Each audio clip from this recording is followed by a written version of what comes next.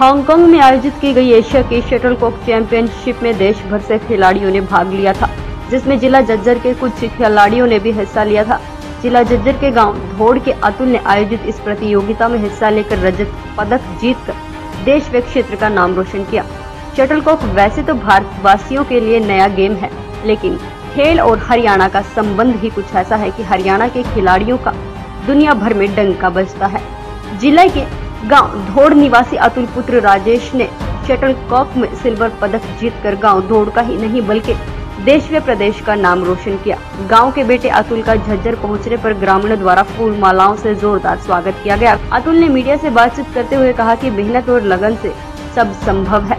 मैं अपनी सफलता का श्रेय अपने कोच को देता हूँ, जिन्होंने पूरी लगन और निष्ठा से मुझे खेलना सिखाया, जिसकी वजह से आज मैं ये पदक हासिल कर पाया हूँ। अतुल ने युवा वर्ग को कड़ी मेहनत व लगन से पढ़ाई करने व खेलने की बात भी कही। उन्होंने कहा कि नशे व अन्य चीज़ों से दूर रहे और जीवन सफल बनाने के लिए युवाओं को कड़ी मेहनत करनी चाहिए।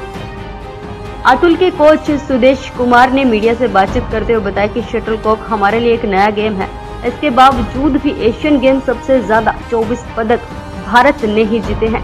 और युवाओं को अपनी सारी ताकत खेल के पीछे लगानी चाहिए। नशा व अन्य असामाजिक गतिविधियों से दूर रहना चाहिए। हम चाइना गए थे हांगकांग और शटल कॉक गेम है। एशियन फ़र्स्ट एशियन चैम्पियनशिप हुई थी। उसमें मैंने सिल्वर पदक हासिल किया है। इसका श्रेय किसको देना चाहिए मैं कोच कोच जी को फेडरेशन को और विकास अंकल जी को। है आगे मैं पूरी कोशिश करूँगा कि गोल्ड लेके आऊँ। और मेहनत भाग यस नेशनल खेला था डिस्ट्रिक्ट स्टेट अब इंटरनेशनल थे ये। यस अतुल।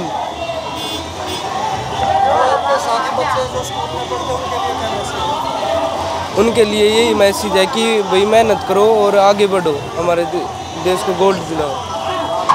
सर, मैं यही कहना चाहूँगा कि जो शटल को खेल है, ये भारत में इसकी नई शुरुआत है और हमारे बच्चों को इसमें बढ़ चढ़ कर भाग लेना चाहिए और ज़्यादा से ज़्यादा हम देश को पदक दिलाएँ और हम सरकार की खेल की नीतियों का हमारे हरियाणा प्रदेश के खिलाड़ियों को ज़्यादा से ज़्यादा लाभ मिले।